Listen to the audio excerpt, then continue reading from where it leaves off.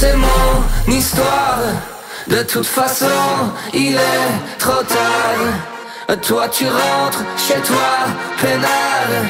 Et moi, je retourne au comptoir.